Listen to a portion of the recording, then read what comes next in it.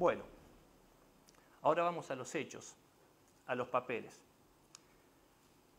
El 27 de agosto de 2020 este Consejo, con el voto de los concejales Pérez Lindo, Riva, Gessner, Terisoto y Frutos, sancionó el decreto número 129-20 que tengo aquí en mis manos, lo estoy mostrando y reza textualmente.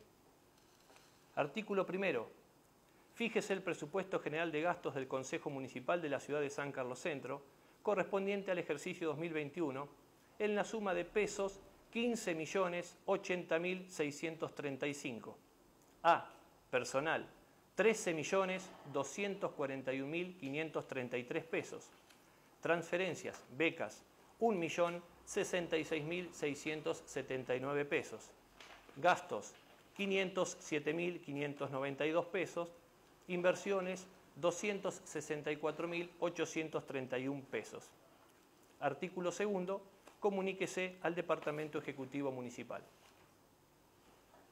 Voy a volver a repetir las cifras. Personal, 13.241.533 pesos. Transferencias, becas, 1.066.679 pesos. Gastos, 507.592 pesos. Inversiones, 264.831 pesos. Total, 15 millones 80.635. Es decir, deberíamos transferir a este Consejo 1.257.000 pesos por mes, todos los meses, incluidos los meses de enero y febrero, en los cuales se encuentra en receso, es decir, no funciona.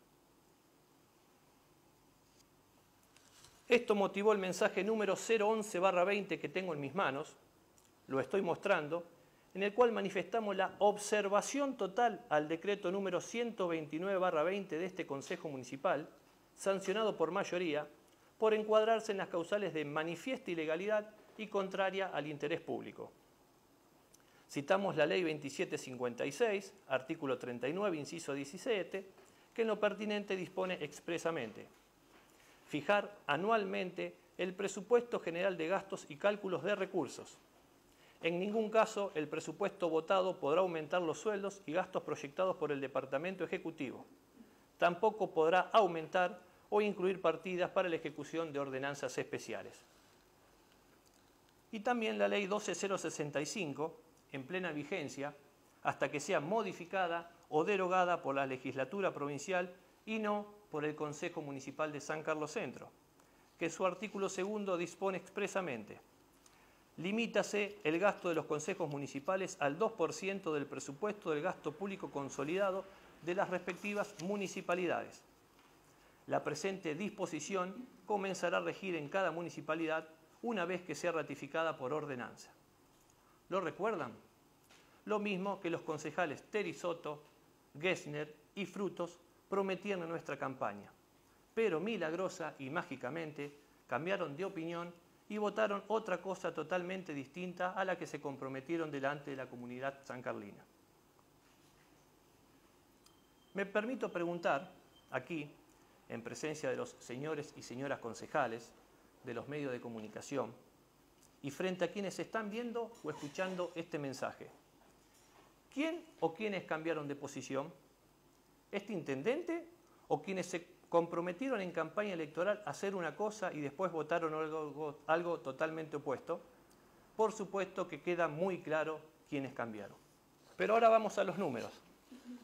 Este decreto número 129-20, sancionada por mayoría en este Consejo Municipal, fija para el año 2021 partida personal, Consejo Municipal, 13.241.533 pesos, es decir, tres veces más de lo establecido para el año 2020.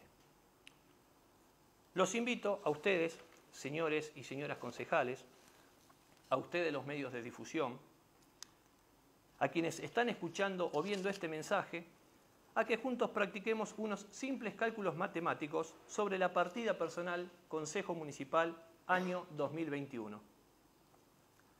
Aprobada según decreto número 129-20 de este Consejo, 13.241.533 pesos. A dicho monto lo dividimos por 12 para obtener el monto mensual, Eso nos da un monto de 1.103.461 pesos.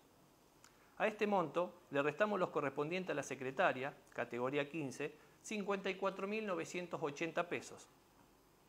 Es decir, a 1.103.461 pesos le restamos 54.980 pesos, nos da la suma de 1.048.481 pesos por mes.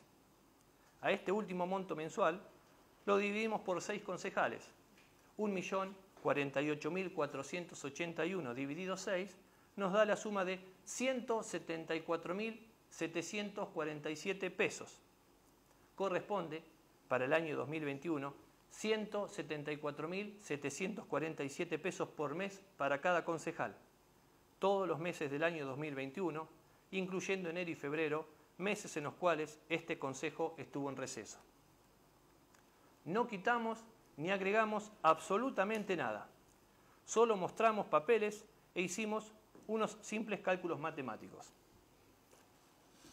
En la parte final de este mensaje que estoy mostrando, decíamos textualmente, este intendente, tal cual lo expresó en la campaña electoral y sin apartarse un ápice, está al frente de un gobierno que se preocupa solo por brindar bienestar para la comunidad, sin distinciones y sin privilegios, sobre todo para aquellos que llegan a un cargo pensando solo en multiplicar el ingreso de fondos públicos a sus bolsillos.